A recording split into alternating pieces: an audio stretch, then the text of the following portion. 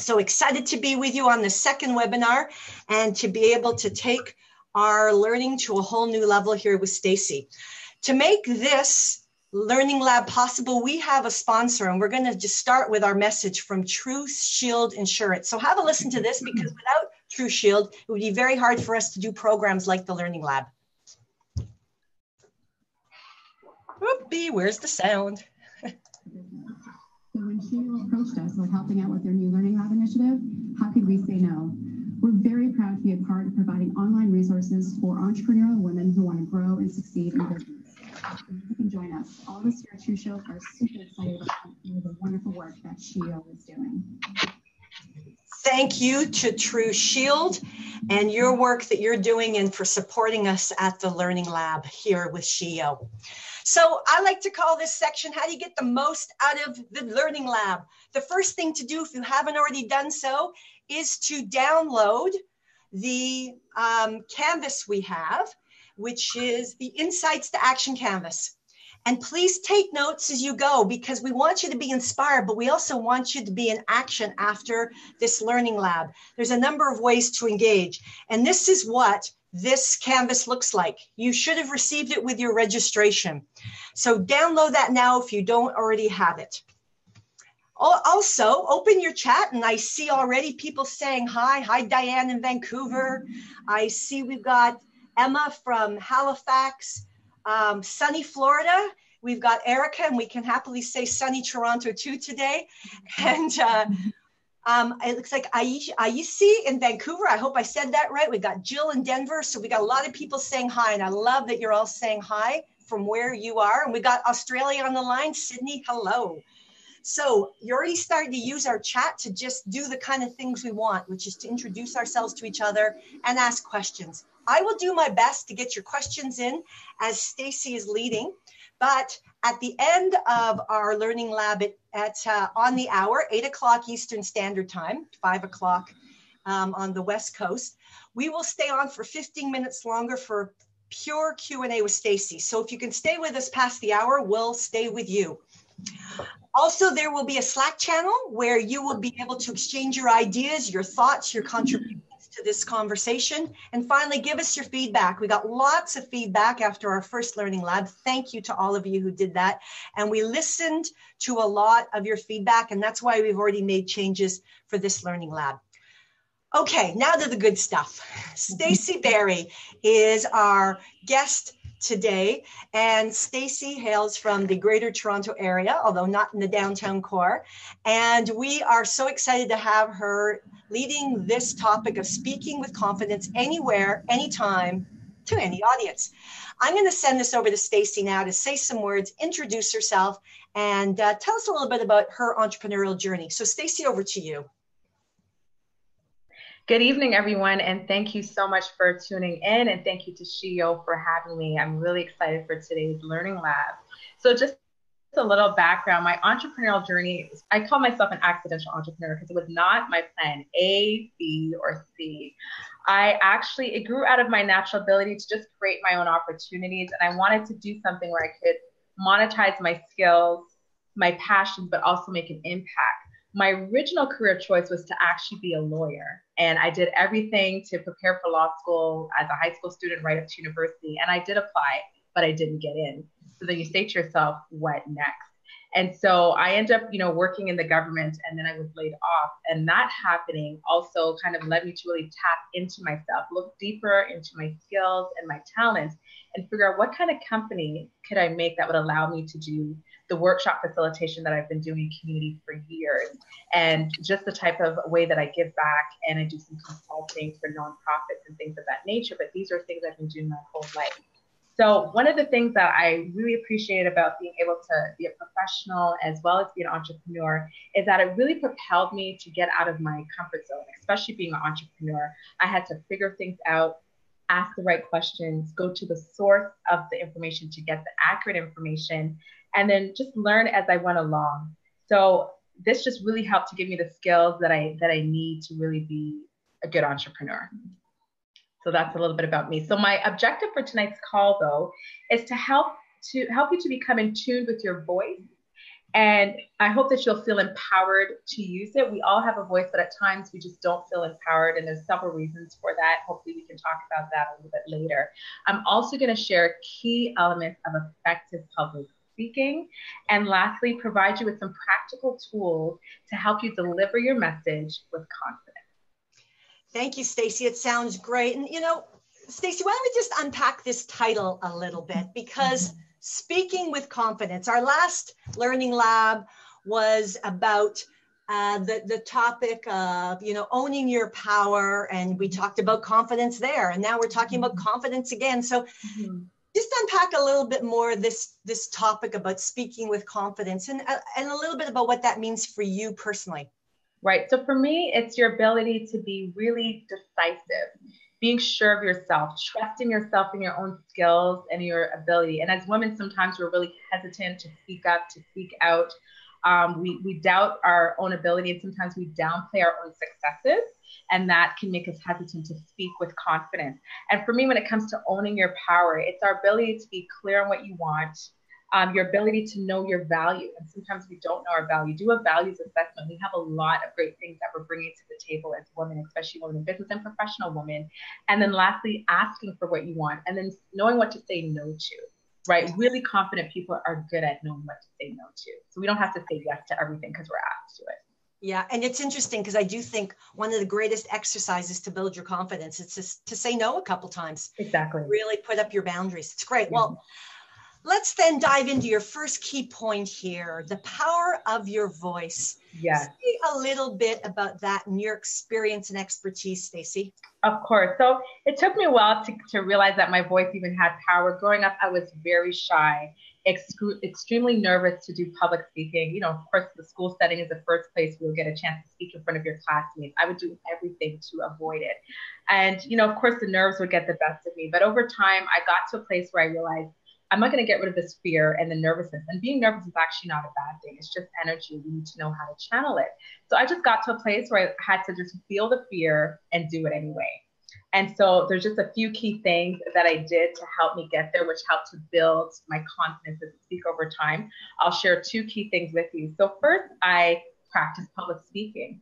I started in small settings with, you know, in social events with people who I knew. And then I would start to speak in just larger audience. So at my churches, for example, just, you know, doing different uh, speeches there on different things, community groups.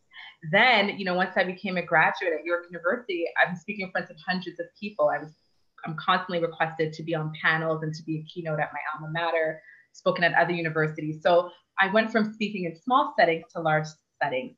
And then, secondly, a second thing I did was to take a leap of faith.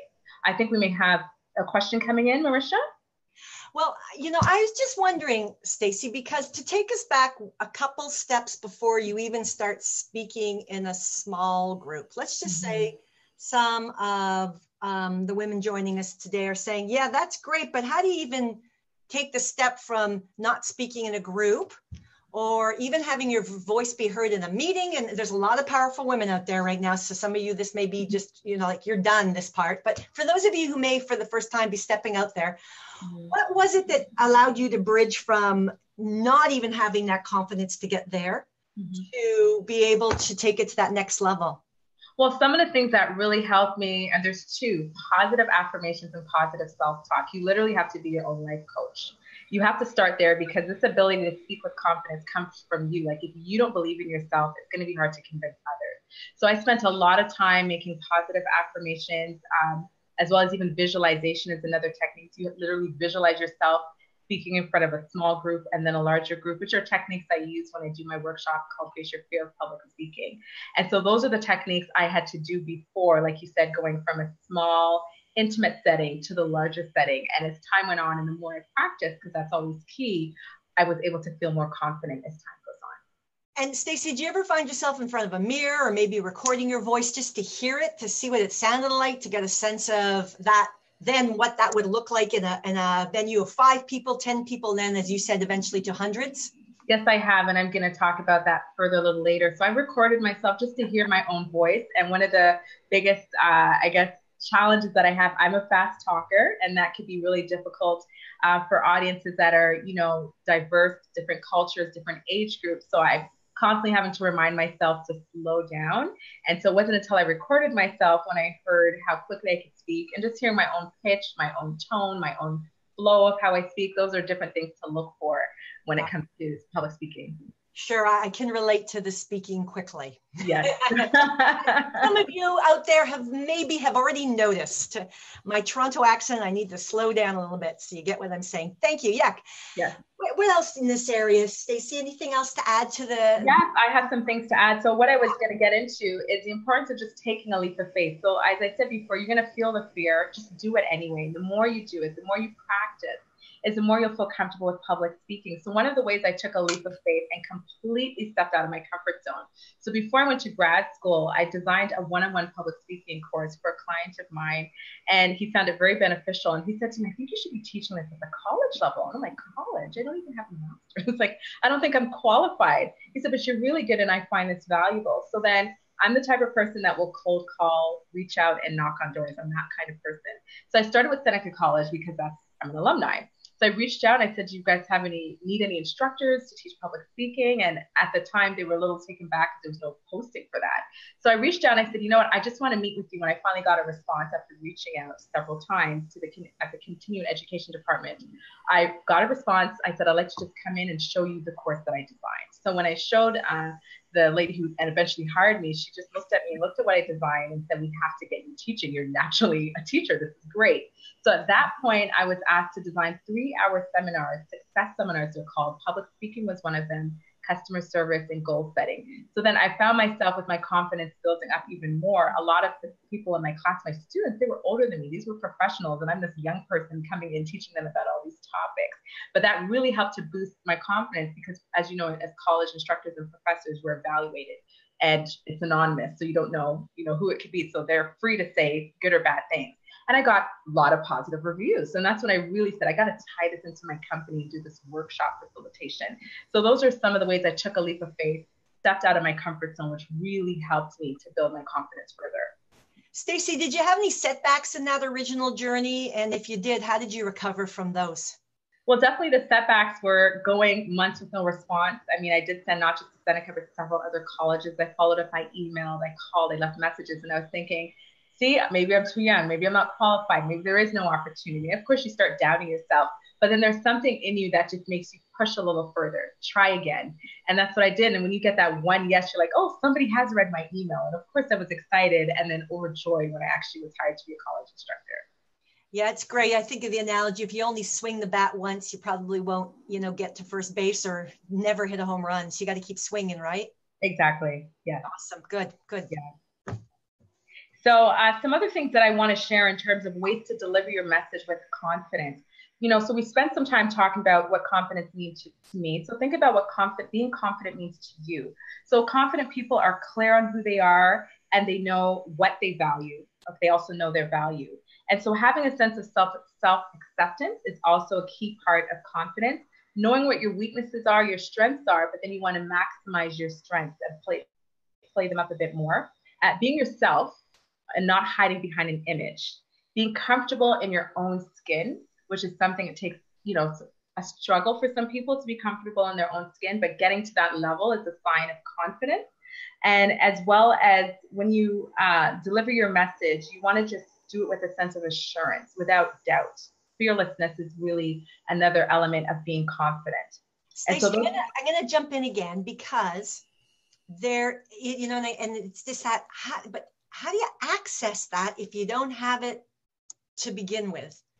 Like what's been, or how do you, how would you coach someone mm-hmm. who you, you know they've got it and or you may even wonder if they've got it but you know right. they got to keep putting themselves out there how do you help them to do that yeah well, i mean to help them to do that one of the things i say to, i mentor students as well not just you know uh, giving consultation advice to my clients but it's also important to surround yourself with people who want the best for you who will kind of you know be your coach if you're not able to coach yourself so it's important to really re- surround yourself with people who value and respect you will help you get to that place so you want to start there. The positive affirmations is a good way, even writing down some affirmations, reading books on positive affirmations, making your own, and saying them daily if you have to are a great way to help you get to that place if you're struggling to get to that place.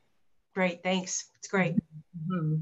And so, another tip I want to share to help you speak with confidence is speaking up even when fear is present. And I talked about just feeling the fear and doing it anyway. There's times when we get caught up in the opinions of others, we're, we're fearful of rejection, of what people will think. So, we hold back our voice, we don't speak up. We don't speak in those meetings when we're the only woman or the only person of color, which sometimes is a situation I'm often in in executive meetings. And so you really have to get to that place where I know I'm terrified, I might make a mistake, somebody might laugh at me. Who cares? Speak up anyway, right? And getting to that place does take time and it's, it's not easy, but we can get there. So now that's, we're. Mm-hmm. That's your point number two, right? Finding your voice. Yes, we're getting into yeah. finding your voice. Awesome. Good, good, good. Yeah yeah. So any other questions coming in so far before I move along?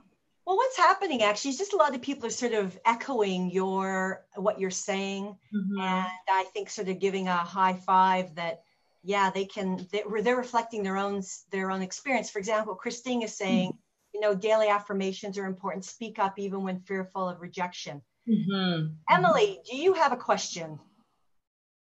You can type it out and I also have one from Sylvie, which is how do you deal with the imposter syndrome?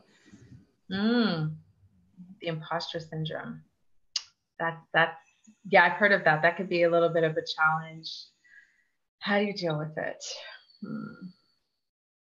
I mean, for me, you have to be at a place where you're not so concerned without with what people think of you, because it's it's always better to be your authentic self. Because when that mask falls off, then it's like you're going to break trust with people and that's going to affect your reputation, right? And your reputation is golden. So for me, like I'm just very careful with making sure I'm my, I'm my authentic self and I'm comfortable about something before I say it and I can stand behind what I say. Yeah. Yeah. And, uh, you know, there is that uh, possibility that if you feel like on your own you can't do it, you can hire a coach or work with yeah. a mentor, right? Stacey, yeah. done that or seen people do that? Mm-hmm exactly. And so, in terms of recognizing our voice on uh, point two, it, we have to get to a place where we believe that our voice has power.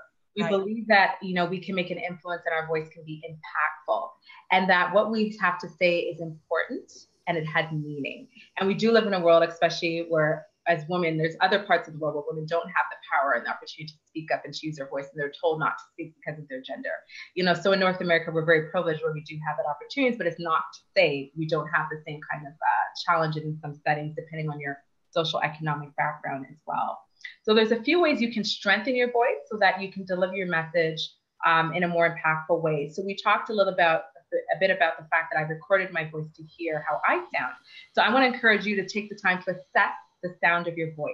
Listen for your tone, your speed, and your pitch, your volume. Some people will, like myself, sometimes if I'm doing, um, when I did my promo video, which I didn't notice until my video uh, videographer pointed out that you started off at a great volume, then your voice went down really low. Those are the things you want to listen for when you're recording your voice. Also, listen for your pronunciation of words and your enunciation of words women uh, tend to, not all women, but some tend to speak in a high pitch, and that's typically associated with a child.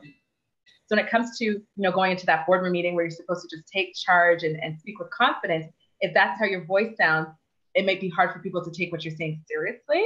But again, you have to look for the strengths and the weakness and the sounds of your voice, knowing when and how to use it.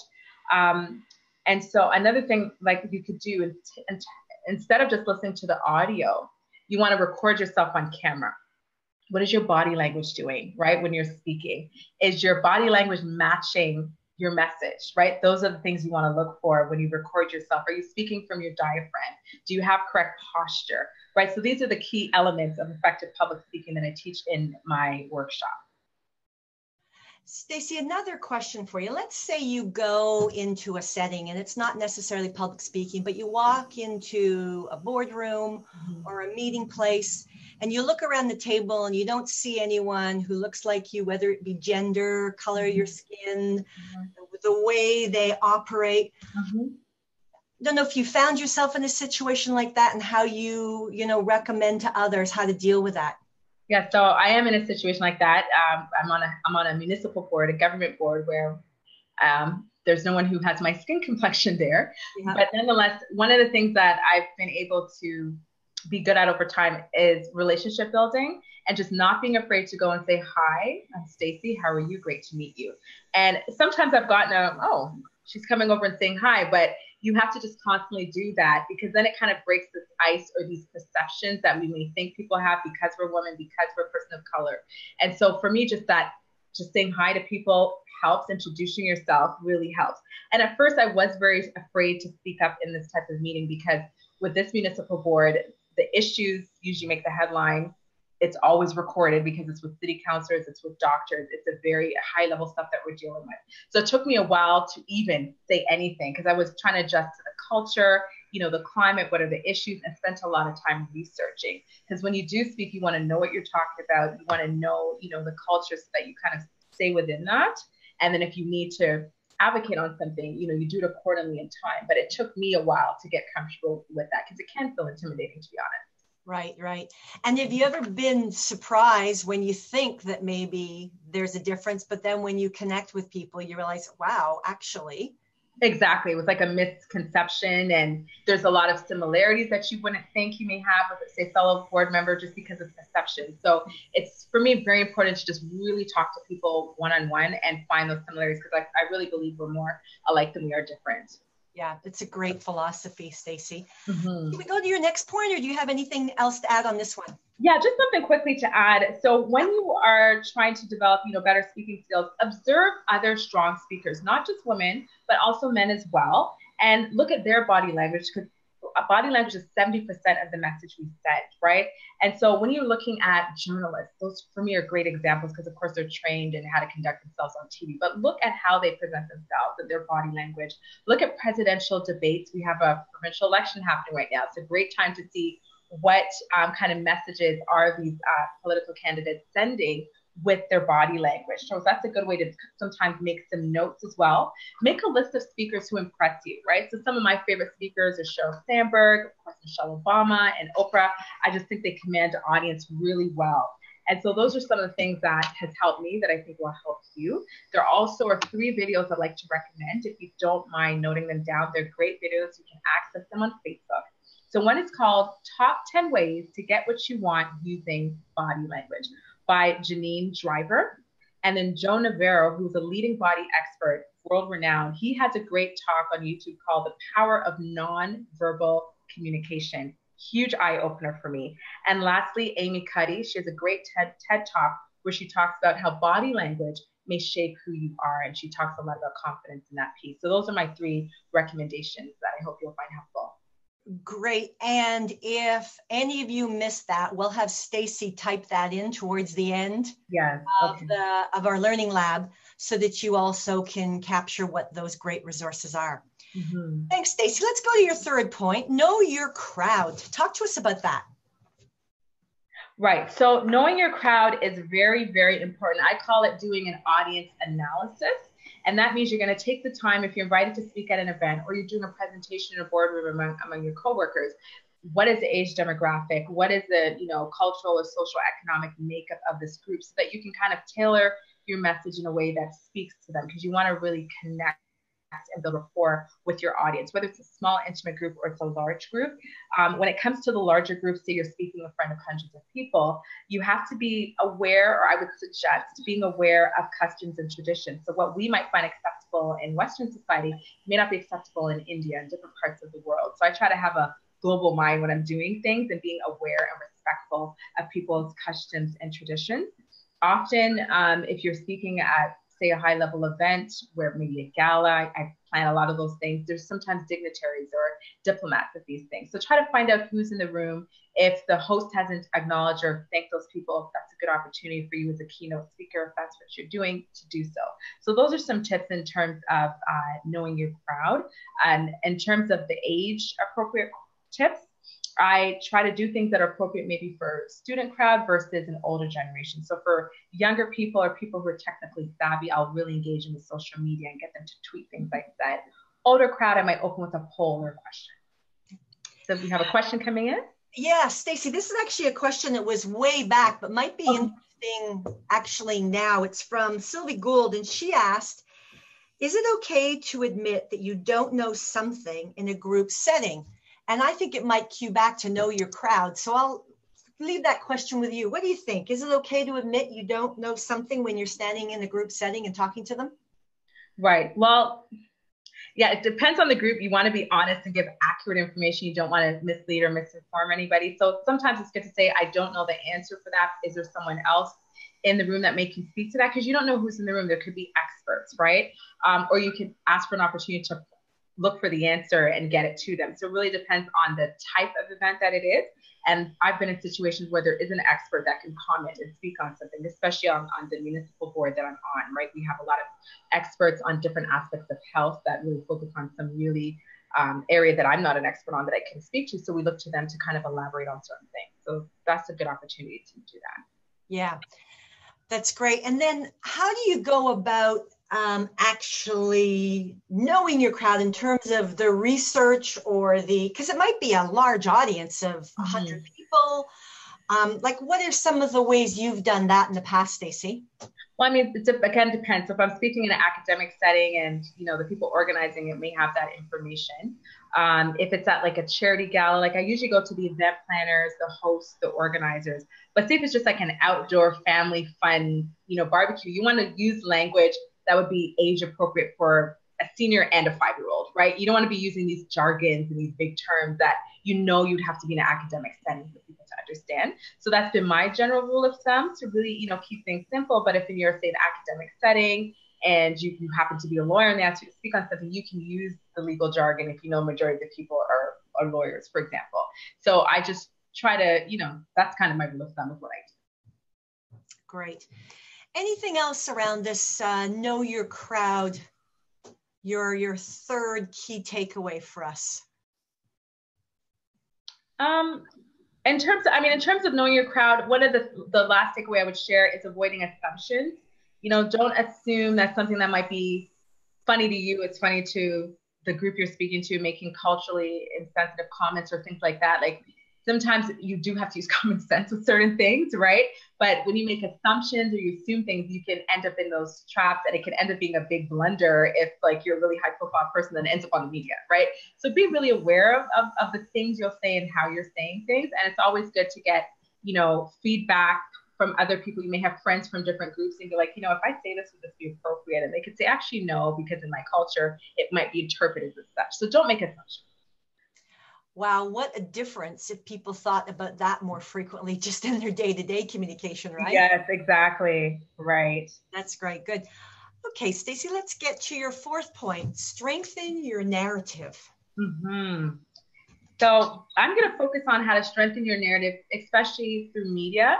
So if you're a professional who has the opportunity to talk about, you know, your role in a company that you work for, you're the CEO of a company, or an entrepreneur like myself, there's a few key things that I learned, but interestingly enough, I learned this while I was a floor director uh, for a local TV station here. So I had the opportunity to be behind the scenes of seeing so many people, whether it's a chef, whether it's inventors, professionals of all walks of life, talk about who they are, what they do. There's times when they spoke on specific issues, but there's times where they're just displaying a product or a service that they provided. And so I learned that it was really important when you have an opportunity to share your message, whether it's radio or TV, to be clear on your intentions, right? Why are you speaking? Why are you there? Is it to inform? Is it to inspire? Is it to persuade? Is it to entertain, right? So once you're clear on that, you're going to go in with that direction. Also, being clear on the message. What is the message that you want the audience to get? Sometimes there's something such as important as a website for a company or our social media that we don't leave. So then what was the point of going on there? It's not all the time the teleprompters will work or remember to include that.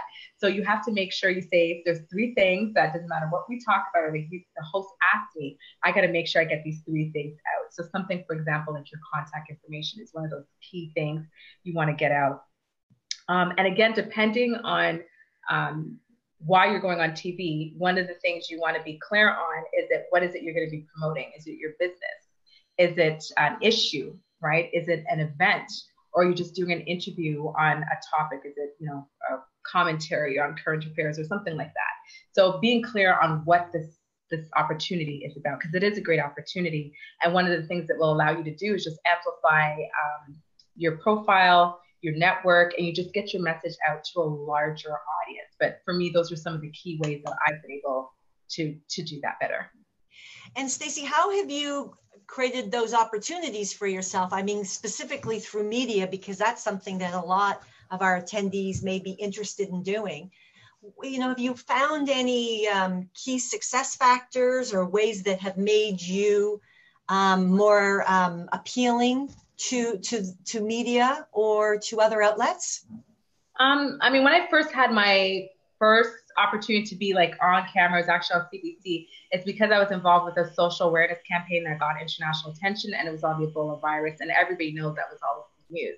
But I was able to build a advocacy campaign from scratch in partnership with York University that was just really um, it was very grassroots, but it was also very impactful because we were able to get 2,000 signatures that an MP who's now a cabinet minister presented in the House of Commons when the current government was in opposition.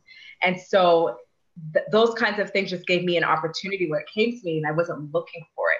So I had to just get prepared really quick. But once I transitioned into entrepreneurship, I also over that opportunity made some great connections with producers and you know different reporters and TV hosts. So you know through relationship building, I would reach out to say you know I now have a company. This is what I'm doing. And like I said, when I was a floor director, I spent over a year doing that at a local TV station, and I had great relationships already from before, which I maintained. And so reaching out to them, I had the existing relationship. It was great. So for me, it comes down to networking and your approach. One of the things I learned when it comes to reaching out to the media, don't ever say, Did you get my email? They did get your email. They get thousands of emails. They don't have time to read it. If they like your pitch and your story, they will contact you. They will find you if they need to. And so that has been my experience because of some of the social advocacy things I'm involved in. I'm also involved in a campaign about breast cancer, and we've had opportunities to be on TV for that issue, right? So they reached out to us because the issue was newsworthy for that outlet. So it was my networking and things I'm passionate about sometimes created and led to these opportunities, but then I made sure to maintain the connections that I made over time. And so is there sort of a, a secret number in terms of frequency? Like, you know, you don't want to be pestering them, but, you know, if you're in touch with the different areas you're working on or the interesting things, is there sort of a, a, a number that you have found to work for you or you, you well i mean I, don't really have a number. I'm just big on reaching out to as many outlets as possible. So if you do want to get on tv for an interview i mean there's people who will get publicists and people who are really savvy you do have to pay for that service. That's the first way to do it if you can. But if you do have those connections and you're able to come up with a concept that you think will fit into something that could be a current affairs or if it's local or a radio station you just want to talk about your business and it's in the theme of something that's you want to tie it into something that people are talking about, I find helps. But for me, it's been my relationships. Like I know people who are in local radio and different things, so I've maintained that. So it isn't really just a magic number. You want to just cast your, your net out wide and yeah. see who responds. But when you get that response, you want to spend some time with, oh, thank you for your response, because they might be a little interested, but they're not locking you in. So they sometimes will work with you. You know, I've had producers that will try to work with you and reshape what it is you might want to present to fit with something else they're doing to see if they can slide you in for that two minutes because it's not really a lot of airtime most people get. So that that's what has worked for me. Terrific, great, good, good. Mm-hmm. Should we go on to your fifth? Yeah. So now to the fifth. Yeah. Uh, creating your own opportunity approaches to build your credibility for growth and advancement is really, really important, especially if you're an entrepreneur. So for me, I was i am forced to create opportunities because being laid off was a huge challenge. It happened in 2013, but I'm a very persistent person and have lots of resilience. I wasn't born with resilience, it was built over time. And one of the things that I was doing over and over, which people who have been employed has done, is sending out resumes. But I got to over 700, which I don't know how common that is. and 700, not just in Canada, but I've applied to jobs in the Caribbean, in the States, industries, you name it. I was open to customer service, you name it. And this is with my master's in public policy, right? So that type of resilience has tr- transferred into being an entrepreneur because you're going to have to knock on doors again to try to get clients, to get noticed, to build your brand, and you're going to hear silence, cricket, or you knock on doors. They might open and say, "Not now," right? So my journey of trying to find a job really helped me to build the resilience that I need as an entrepreneur because it does take time to do that. And so um, when I decided to launch my business, I knew that I had a network that I built over time which meant I had enough credibility because credibility is key. And you kind of start there before you expand. And so, in terms of creating your own opportunity, like you do have to be innovative, make the best out of the worst situation, because that's just sometimes with a competitive market. We're in a very competitive market. A lot of people try to do similar things. And so if a door won't open, you have to build your own door. Like those are things that as I started to do, I was like, that's what that person meant when they say these things. You have to create your own, your own door and your own opportunity.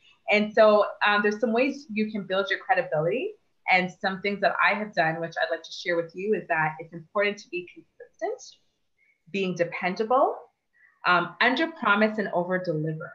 And that can go a long way because sometimes if you over deliver or you over promise, sorry, but then you can't deliver, that can eat away at your reputation because people will say, well, I can't depend on this person. They said they would do X and that didn't happen.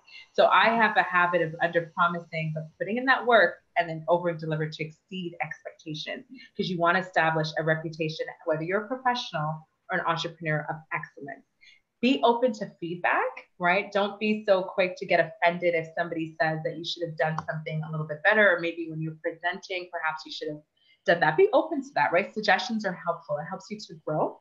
And it's also important to deliver high quality work. It doesn't hurt to do things over and over until you get it right because it is your reputation. You're trying to establish credibility. And that's so important as professionals if you want to move up into a higher position, right? They're going to pick the people that are consistent, dependable, and do high quality work.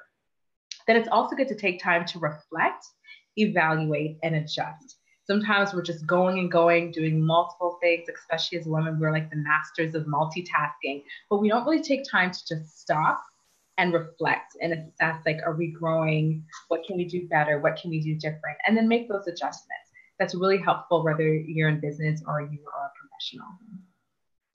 That's great. And, um, you know, a lot coming through now on our chat. So a lot of additional tips. But uh, Kim McDonald actually posted something that if all of you didn't see this resource, it's probably worth writing down. It's www.helpareporter.com.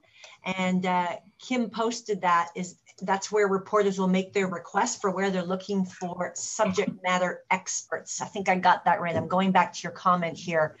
Yes, Kim. Thank, thank you. That. That's helpful. Yeah. Yeah, it's great. And then, you know, and I think you may have answered this. And, and so, Sylvia, I, I think that Stacey answered this, but she was just asking a question about she's, you know, new out of the gate and tips on um, how best to network in mm.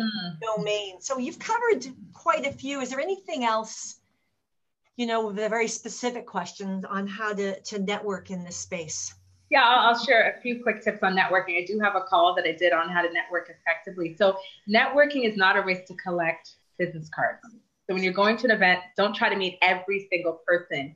You know, so if you're going, depending on the type of events, because there's events I go to where I'm going because I really just want to connect with the keynote speaker who's there. I made sure I did my research, read the, read the bio of the keynote speaker, so that when I do approach him or her, I know what to talk about. I make some connection, or you read their LinkedIn profile because not everybody has a website where you can easily find that, and they may not have LinkedIn. So after you hear them speak, make some notes and try to build that rapport. So for me, networking is about building rapport with just genuine people who have shared interests. It's not about just handing out your business cards or collecting business cards because it's hard to build real relationships like that. And so for me, that's how I have over time been able to, you know, expand my network and ensure that it's diverse. That's great. Good. Thank you for that. Um, any other points around the uh, building credibility for growth and advancement, Stacey? Um, yeah, well, just to, yeah, well, for growth and advancement, I was indicating before, if you're a professional, once you've been able to do some of those things that I've indicated around being um, being reliable and dependent and consistent and producing high quality work, there's always opportunities in major companies for promotion and they're going to give it to those people who delivered and have that good credibility that they know they can rely on because this is not just your personal reputation but a company or sometimes billions of dollars depending on what the opportunity is. And so you know keep that in mind as you're in a company and it doesn't matter what level you start off. If you can start at very entry level and easily get to the top. And it's not just about our accolades all the time. It's about our ability to deliver right? It really comes down to ability to deliver and to do so consistently. And the same goes for business because if you want to land a certain contract with a certain client your ability to have that credibility is very very important. Right. And so, I you know someone who can bring their voice forward in, you know, a group environment like you're doing right now. Sort of, what do you think comes first? You know, sort of that chicken egg credibility or the strong voice? Put you on the spot here. Yeah. Yeah. Well, I mean, people will be captivated by a strong voice and a strong presence and you could do a great speech and all of that. And it's really if you get to know the person, then you're like, oh, you know, they talk a good talk, but are they walking it, right? Yes. So you could do that, and that's fine, and put yourself out there. But I always believe to back yourself up with some substance, you should, you know, walk the talk and talk. You know, you should do that. It's important. It just will add, give you more value, and just make you have a better credibility. But it does either way you could do either one, right? And then there's some people that they may set these high expectations and then they can't deliver. And then you can work on that, right? We're not, we're people, like we evolve, we grow, we can work on things and become better, right? Yes. Yes, exactly. Yeah, that's it. Well, and that's interesting because, uh, you know, I was thinking as you were speaking about this adage of great speakers aren't born, they're created and mm, you know, mm-hmm. your points about developing your capabilities as a speaker mm-hmm. about all of these so if anyone doubts themselves mm-hmm. don't just look at the current state right continue right you know put yourself forward yeah and invest in yourself and there's so many great resources where we could do that i mean now we're lucky to have youtube you can just literally Google a lot of things on, you know, and, and, find great examples of public speaking and some of the things I indicate and work on these things. There's videos on just correct breathing and deep breathing. That helps you so much with projecting your voice and just speaking from your diaphragm. Something as simple as focusing on that can make a huge difference with your speech as well, right? So it doesn't have to be every little aspect because that could be overwhelming. Just take one piece at a time and develop one aspect at a time of yourself. Yeah, I love that. That's great, Stacey. Good. Well, let's uh, move on here and and uh, get a little personal with you. so we've got your favorite quote here from Dr. Martin Luther King. And, and why don't you tell us why that was your, your favorite quote that you wanted to share with us all? Right. So faith is taking the first step even when you don't see the entire staircase. That is a very powerful quote for me because I am a person of faith, but also when it comes to starting a business, right? It's in our head. And then we have to get it out of our head. And you have to have a lot of faith to believe this is going to work no matter what. I can't, I may not see what it's going to look like, but I'm just going to jump out there, step out of my comfort zone, and believe that it will work. And that's also speaks to success, right? You want to be a successful professional. You don't, you don't know, right? But you're going to believe that it's possible, and you're not sure what's going to be you know, at the end of being at a company for five years, you might think, you know what, I'm just going to be here for two years and just do this little position. And next, you know, you end up in a bigger position than you thought, or there's some other opportunity that came up, but you couldn't see it at that time. So whether you could see the end result or you could see the end of that staircase, you've got to have that faith. Like for me, it's the foundation of everything that will keep us moving and motivated and inspired, even when life tries to knock us down.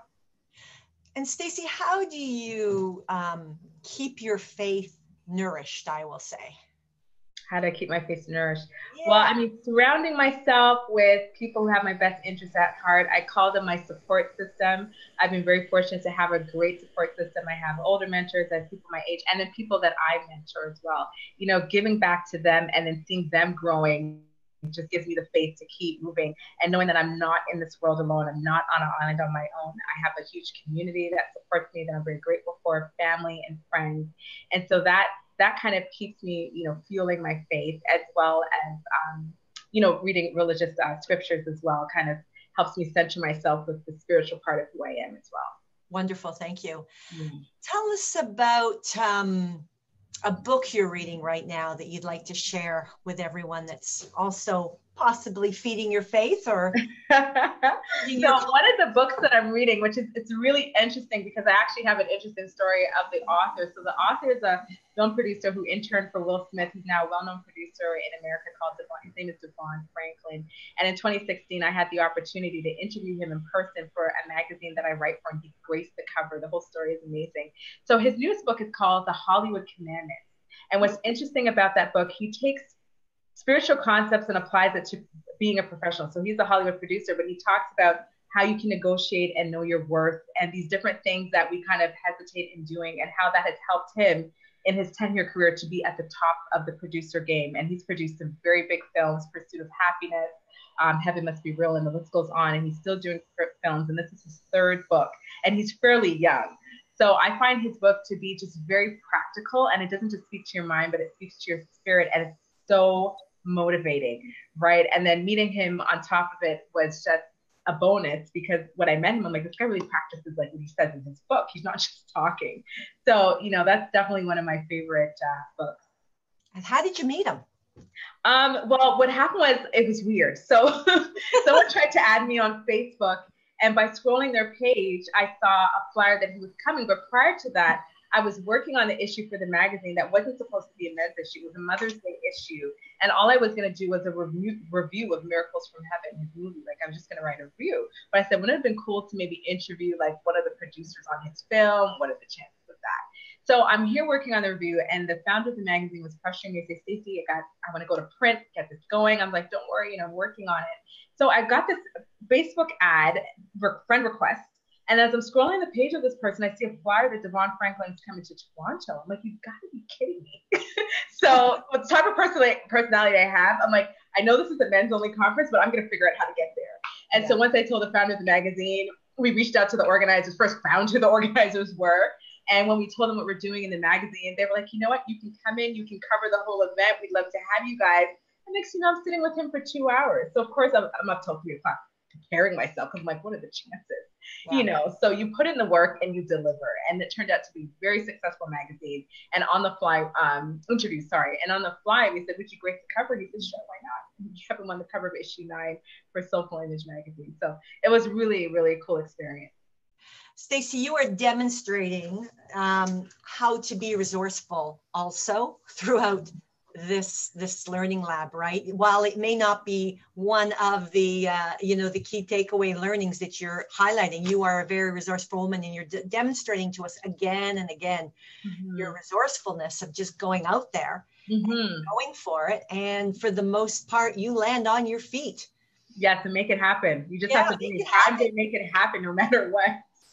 Yeah you pull the world towards you. That's terrific. Yes, yes. on that note who um, right now is inspiring you? Is there someone standing out that you'd just like to highlight to us that uh, that you are gaining inspiration from, a person or people?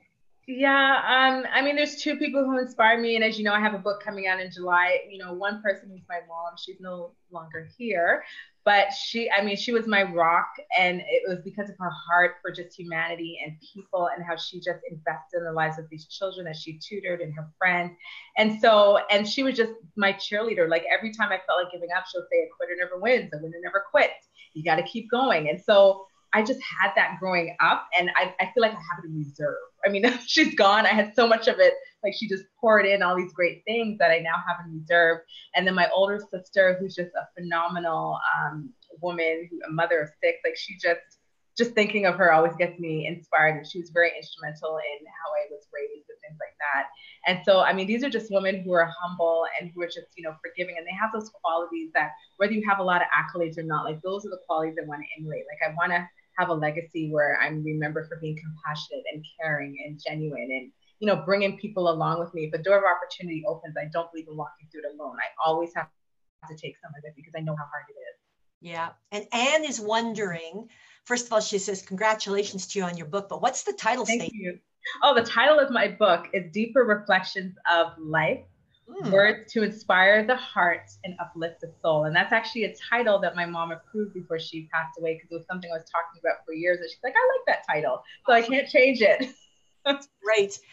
And uh, where are we going to be able to get your book when it is finished? Well, my launch will be on July 22nd. I am in the process of planning my book launch and then it'll be on Amazon online on my website. So I'm actually in the process of just setting all of that up and I'll be launching a personal website, Stacey Embury website around that time as well. Terrific. Good. And of course our SheEO workplace will be able to we'll find out about that too, right? Yes, of course. Yes, I'll be sharing that. Very good. So what's the next leg of your journey, Stacey? It's been well, amazing so far. What's next for you? Well, so what's next for me? Like I said, I'm launching my book, but I also am a co-author of another book. I completed the chapter 365 Empowering Stories with Randy Goodman, who's well known as an international uh, bestseller. So I completed my chapter on that, and it's about how you can use faith to conquer fear. And then I'll be working on a third book. I started the table of contents, and I'll be targeting entrepreneurs with a few success tips. So that's pretty much uh, what's next for me. So I really am going to be launching myself as a writer and an author, and I'm really excited about it. Terrific. That is just super. So now's an opportunity just for everybody to, uh, they've probably been listening intently, just to take a moment and to capture any other notes as we sort of wrap up the formal part of our learning lab today. In a moment, we're going to move to a pure Q&A with a pure Q&A with Stacey, where you can just ask questions on the chat and uh, put them to her directly. But before we do that, just grab your canvas, Insight to Action, take a couple more notes for yourself. And as you're doing that, you might find you have more questions for Stacey um, as we proceed. As you're doing that, I will share with you our next learning lab, which is going to be on June 16th. And that will be 1 p.m. Eastern and 10 a.m. Pacific. And that's going to be with Carolyn Meacher. And she is the Chief People Officer of Refinery 29. Refinery 29, which is a leading digital media company for young women, is headquartered in New York City. And they also have spaces though worldwide in Los Angeles, London, Berlin, and Toronto, and they employ over 450 people in those many locations around the world. And Carolyn's topic is going to be around creating the conditions for your team to do their best work and the impact on your bottom line if you don't. So when I connected with Carolyn about this, we were talking about the fact there really isn't a line on your income statement or your profit loss statement that captures where if you're not allowing your team or providing the conditions for your team to do their best work it's hard to measure that. So she's going to speak to what her experience has been of where it can impact your bottom line and how if you actually aren't creating the conditions for this great work. And you know stacey you as you were speaking were mm-hmm. really you know talking about leadership also mm-hmm. creating conditions for your own success and the people that you collaborate with. So it's really interesting, you know, mm-hmm. coming from our first learning lab and what Julie was sharing in that one, which is available on our SheEO website, by the way. Mm-hmm. That was a good talk. First, that's right, our first learning lab. You can go back and watch that again. And Stacey's will be available also. Mm-hmm. And um, probably in the next 24 hours, you'll be able to access that one and watch again and uh, listen to Stacey on all her great points. So I hope that you'll be able to join us for our next learning lab on June the 16th, because we are excited to do that one again with, with Carolyn just seeing if there's any other quick questions here. And as we get ourselves ready for our next section, I just want to remind you how to take this learning forward. One is if you aren't already in the SheEO network, you can become an activator and there's information on our SheEO website to do that. We are going to open up a Slack channel that you can connect with all the other amazing women who have been on this um, learning lab. And at one point I saw, I think there's about 230, 240 people online and uh, they'll be there. So um, we also um, are going to be heading into our Q&A. And if you want to keep on learning within my network, it's www.entrepreneursvelocity.com where there will be other tools and things for entrepreneurs specifically to take their business to the next level.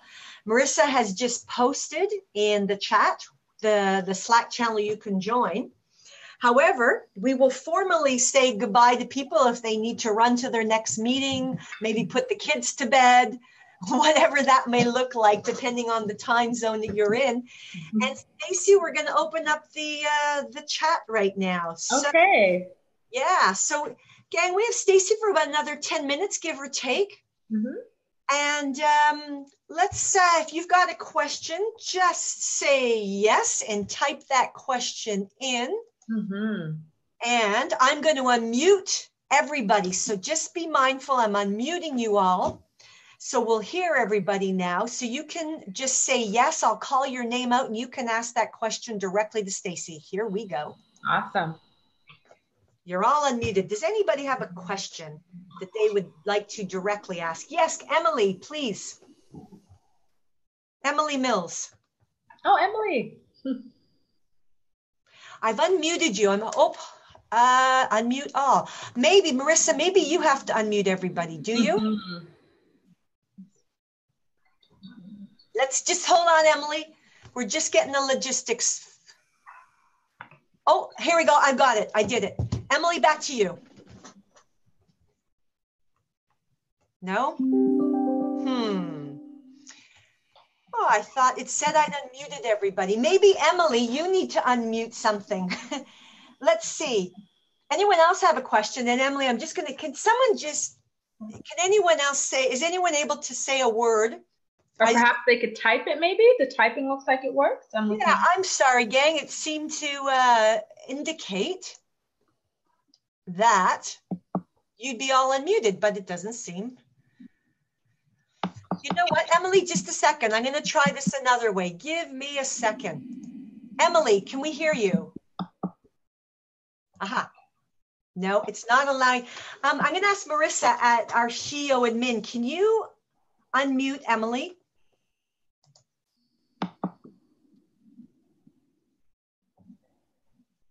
No. Okay, Emily, do you mind typing out your question? We seem to be having a problem.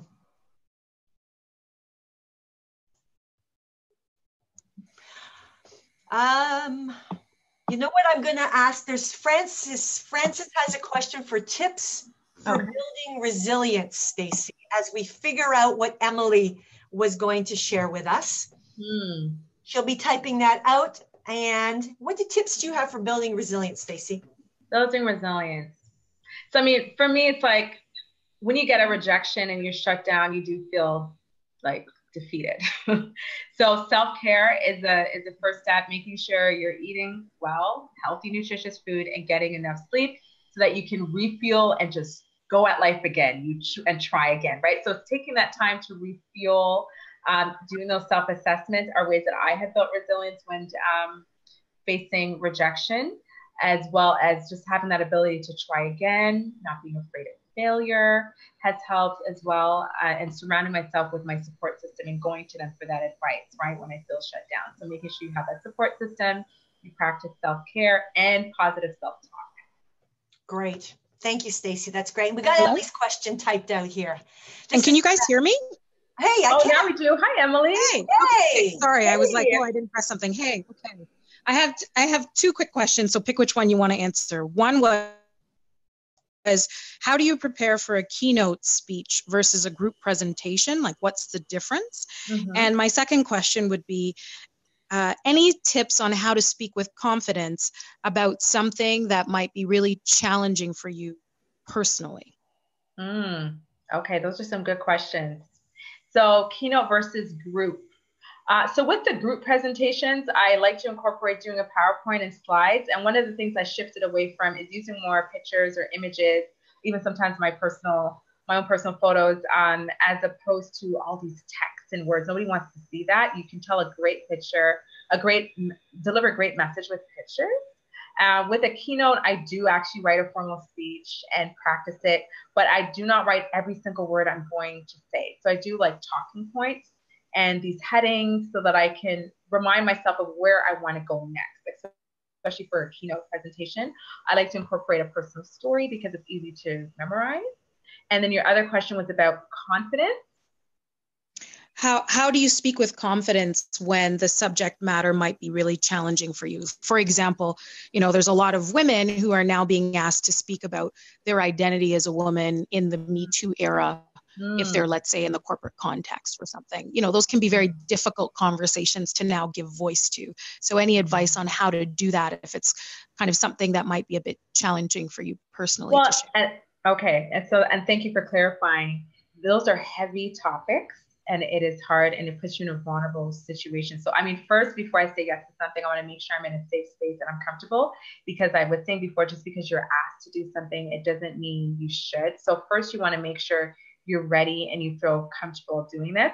And if there's an opportunity to find out from the host or the person asking how interactive can this be? So is it a space where other people can perhaps open up so you're not talking just to them and putting yourself out there, but you're having a conversation with others on this issue might be a, a good approach that I would suggest.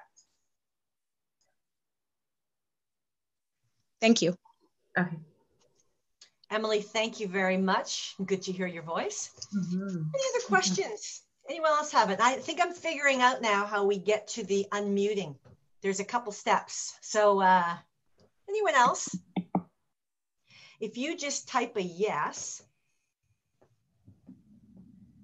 I can send that over to Stacey. Mm-hmm. Looks like Ingrid's also typing in the responses also. So. Yeah, I can see the chat boxes. Yeah. Yeah. That's great. Good. Mm-hmm.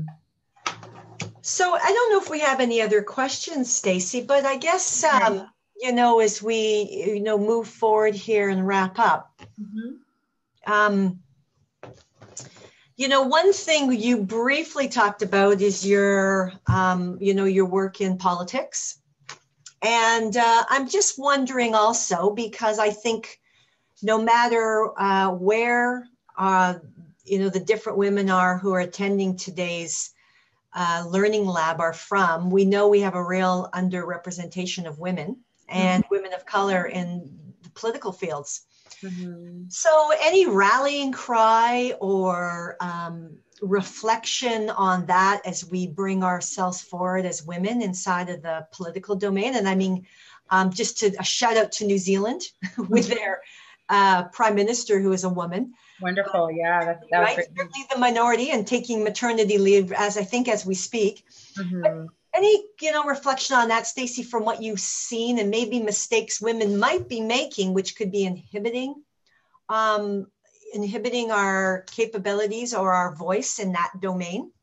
Wow, that's a, that's like another well, 30 that's minutes. a whole other learning lab, that's right? a whole other, yeah, learning lab. Um, I mean, one of the things I always say, you know, strive to go where you don't see yourself or see people who look like you and just not being afraid to go in those spaces. We do need more courageous and brave women in politics who will speak up and speak out. We do have um, some great women doing that already.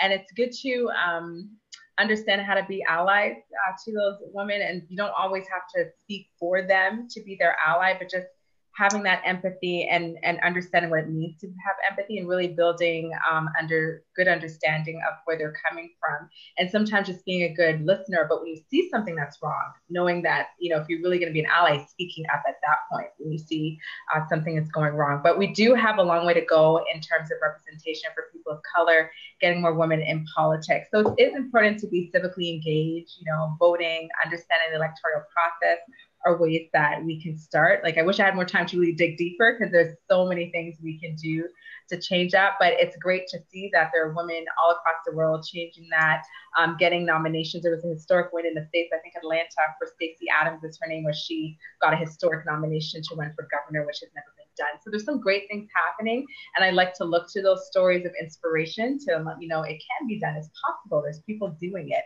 You know, so surround yourself with those movers and shakers, and the ones that are there, continue to support them. Is what I would say.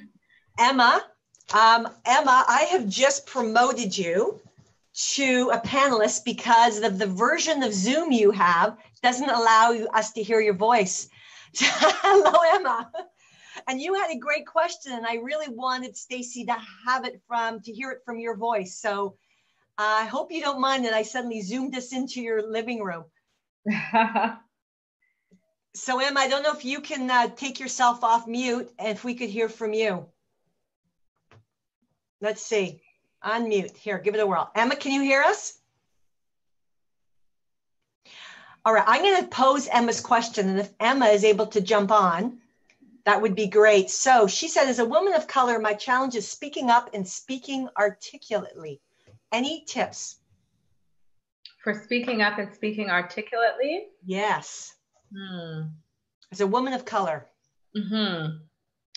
I mean, for me, it, it, it took a lot of practice, constantly speaking in different spaces, and then on issues that, like I said, um, can be heavy. I'm involved in like a breast cancer awareness campaign that is not a light topic. I mean, I lost my mom to that issue to cancer. So the advocacy and being an advocate kind of helps to develop that skill when you're involved in issues that you're passionate about.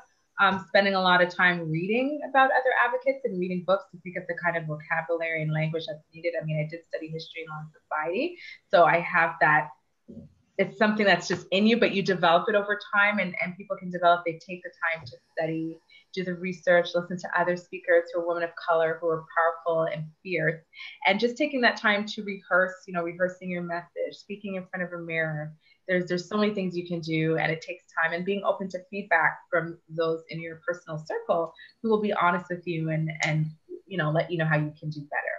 Yeah, that's great. And you know, I think we all have our, you know, a responsibility. Maybe that's a strong word to use, but that we also um, sometimes um, step back to allow others to have their voice be heard and to make sure and look around the room if we've been doing this for a while to have their voice be heard mm-hmm. and uh, vicki and vicki saunders for those of you who may be joining our community and don't know who vicki saunders is she's the founder of SheEO, she put a post up the other day where there was a panel going on and it was all women, but they there was no women of color. Mm, I saw that. Right. So she's Very like, no, I'm going to step back if mm-hmm. there aren't other, you know, if there aren't women of color on the panel that I would be joining. So sometimes we have to look around and go, hey, if we suddenly become the majority, right, we may need to step back to have other people's voices be heard. Exactly. That, right? And that's so powerful of Vicki. I was so inspired when I read her letter. That's a really powerful gesture to make. Yeah. Mm-hmm. So we can't, you know, we just keep on looking forward in terms of what that might be. And Stacey, you're incredibly confident. So if you're in a room, you're going to lend that to others. And we just exactly, exactly. Right? I don't always have to speak up. Exactly. Yeah and you know and encouraging others to do so or asking to hear their voice and to yes. some people are asking where can they post a question so maybe reminding them they can you can type your question if your mic isn't working. Yeah. I saw a message about where can they post a question someone made a suggestion about a book which is great around building resilience. 21 days to resilience is a book to read written by a woman author doctor doing research in this area. Thank you so much uh, arima for sharing that Great, good. This is great.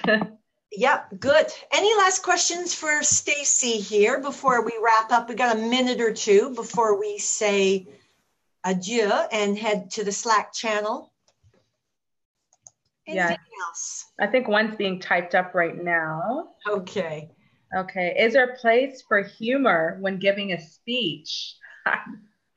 um, once you do your audience analysis and you kind of know your crowd, like, is this a like a uptight, you know, crowd? Are they more relaxed? Are they like, you know, liberal crowd like young millennials? You know, so you can probably insert some humor um, once you've done your audience analysis so that it's appropriate and it fits uh, who your target audience is, right? So spending that time doing that research is helpful.